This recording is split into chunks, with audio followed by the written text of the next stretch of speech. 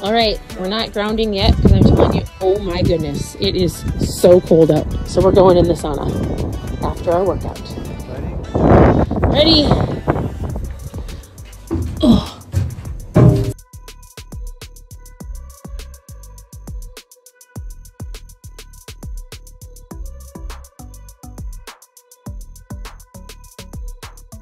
I'm sweating. Can you tell I'm sweating? No, You can't? no, I can't tell. Yeah, I'm glistening. Steve says I have to stay in here for another 10 minutes. Otherwise, I don't get the true benefits of sauna, which he said is great. I do a lot of things because he says it's good for you, but I actually don't know all the benefits. So, so for those of you who've been curious, listen, my husband is a biohacker. What does that mean? He loves all things biohacking. What does that mean? I don't know. Google it. Think of things like ketones are like a biohack, right? They get you from point A to point B faster, right? Is that right?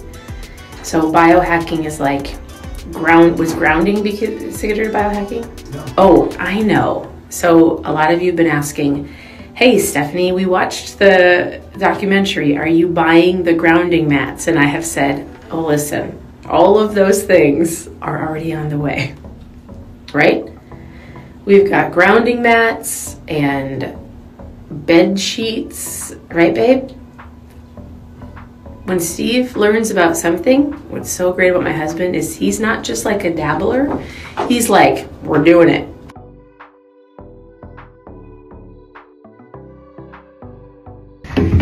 Oh my goodness. Oh my goodness. Oh, who's over there? Guys, I walked out. It is so cold out, and Eliza is grounding. Are you singing? How many minutes are you at? So you're just hanging out? Are you meeting with the Lord? Okay, love you. I mean, that's pretty cool. Walk out of a sauna. Oh my goodness, it's so cold. So hot and so cold. Um, I'm like drenched. I'm soaking wet. And to see your child, she actually didn't feel good, so we didn't go to the gym because she wasn't feeling good, and the other one wasn't feeling good. And so she's had a headache.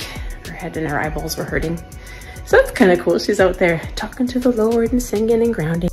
I'm seriously full of it today. I feel I feel like I'm full of it. Just like full of funniness and yet putting out fires and my husband, I was like, babe, we're dealing with some kids and a little bit of attitude. And I looked at my husband and I'm like, babe, what is it like to be uh, an amazing husband and dad of an all women home? Five women in your home. Well, they're not all quite women yet, but. And he was like, when we get to that time when everybody's a woman, I am about to book myself a ticket to Florida. So let me know when that week is.